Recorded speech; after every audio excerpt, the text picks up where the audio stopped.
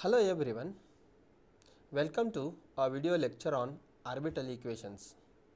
Myself K.R. Biradar, Assistant Professor, Department of Electronics and Telecommunication Engineering, Walchand Institute of Technology, Solapur. Let us start with the learning outcomes first. At the end of this session, students will be able to illustrate on what principle satellite remains in stable orbit.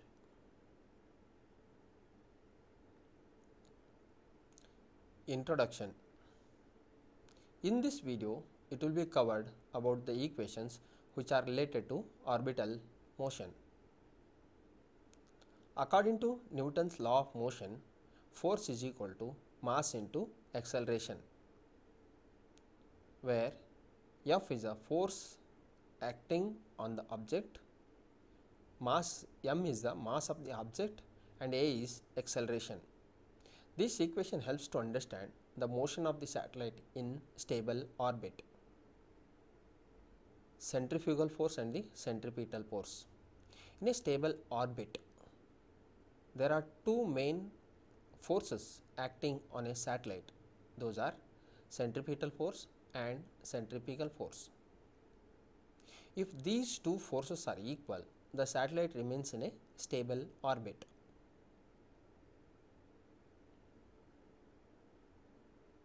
Forces acting on a satellite.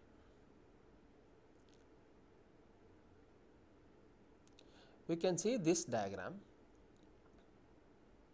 At the center you can find the earth. So, satellite is revolving in this circular orbit the forces acting on that satellites are two. One is towards the earth station, one is going out of the earth station. The force which is acting towards the earth station is called the centripetal force. One force which is trying to escape out of this orbit that is called the centrifugal force. Let us see those definitions. Centripetal force F1 is due to gravitational attraction of the planet about which the satellite is orbiting. That is what the earth is a planet here, the satellite is revolving in this direction.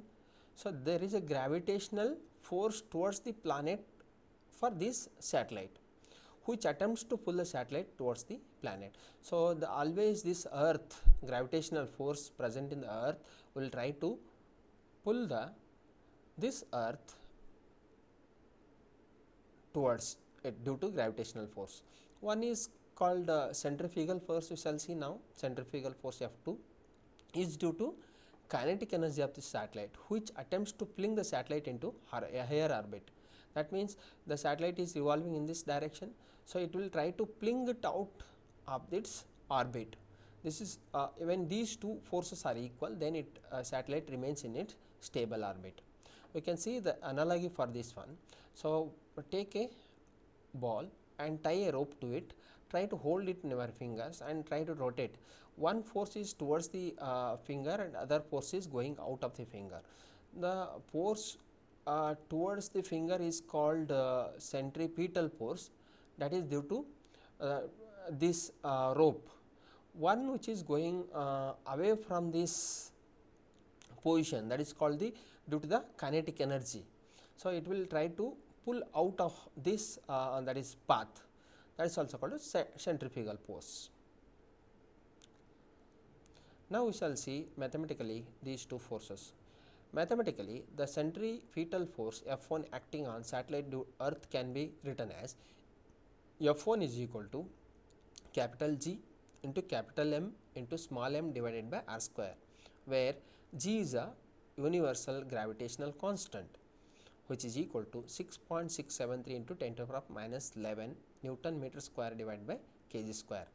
Capital M is the mass of the earth which is equal to 5.98 into 10 to the power 24 kg.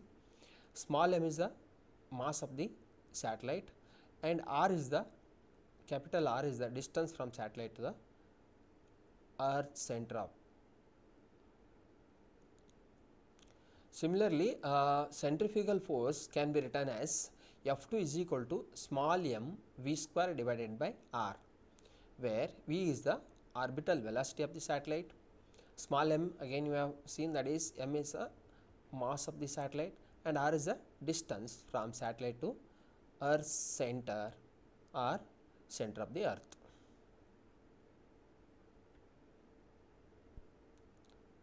orbital velocity when both centripetal and centrifugal forces are balanced to each other. That means, when I say uh, F1 and F2 are equal and centripetal and centrifugal forces. So, one is due to kinetic energy, one is other is due to gravitational force. Those two are equal. Now, we equate these two uh, F1 and F2.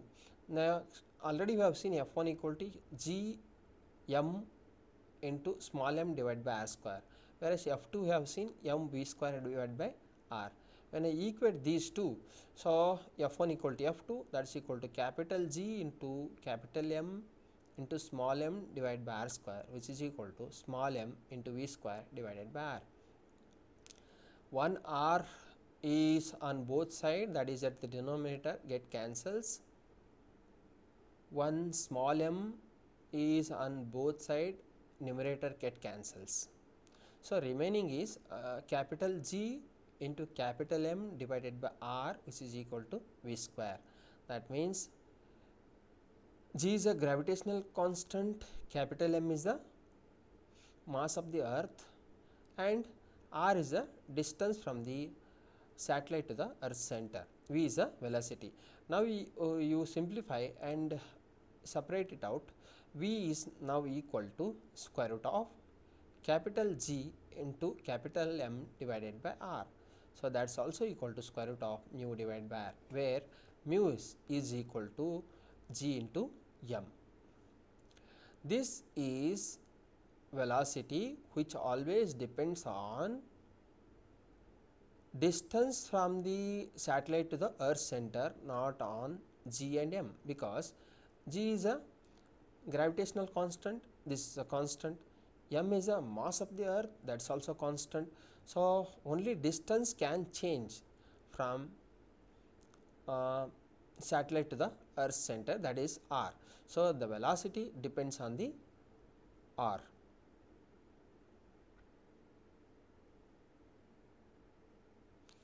Time period of a satellite t. What is time period? How much time it takes to complete one path that is called the time period of a satellite. For example, earth also uh, rotates uh, or completes in one path uh, it takes around 365 days.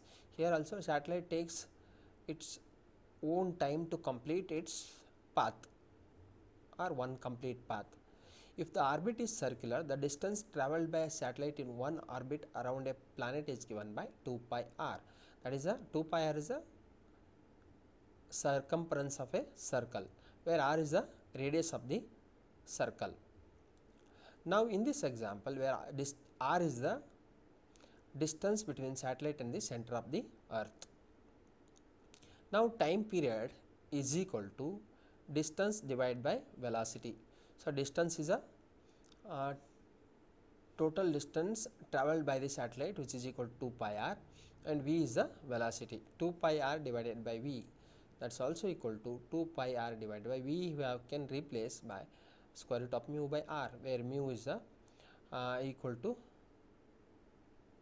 g into m r is the distance from satellite to the center of the earth. Further if you simply simplify it becomes t equal to 2 pi r raised to 3 by 2 divided by mu raised to 1 by 2 by taking r at the numerator. Let us see one problem. A satellite is orbiting earth in a uniform circular orbit at a height of 630 km from the surface of the earth assuming the radius of the earth and its mass to be 6370 km and 5.98 into 20, 10 to the power of 24 kg respectively determine the velocity of the satellites. He has given radius and mass of the earth. Radius is around 6370 kilometer and height of the satellite is 630 kilometer and also he has given mass of the earth equal to 5.98 into 10 to the power of 24 kg. He asked you to find the velocity of the satellite. Assume gravitational constant mu is equal to 6.67 into 10 to the power of minus 11 Newton meter square. Pause the video and try to solve this problem. I think you might have solved this problem. Let us see the solution. Given mass of the earth capital M which is equal to 5.98 into 10 to the power of 24 kg. Earth's gravitational constant which is equal to 6.67 into 10 to the power of minus 11 Newton meter square. Radius of the earth r is equal to 6370 kilometer. Height of the satellite h is equal to 630 kilometer. Height of the satellite means from the surface of earth to the satellite. Kepler's coefficient mu is equal to capital G capital G into m.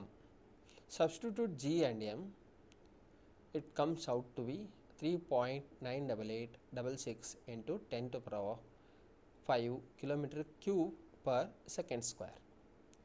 Radius of the orbit r is equal to radius of the earth plus height of the satellite. So, radius of the earth he has given 6370 kilometer, height he has given 630 kilometer. It comes out to be 7000 kilometer.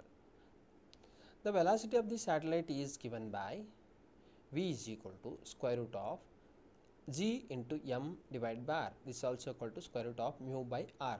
So, if I substitute all the values, it comes out to be 7.54 kilometer per second. Note, for a given radius, the velocity of the satellite is to be 7.54 kilometer per second since g and m are constants. These are the references used to prepare the above PPT.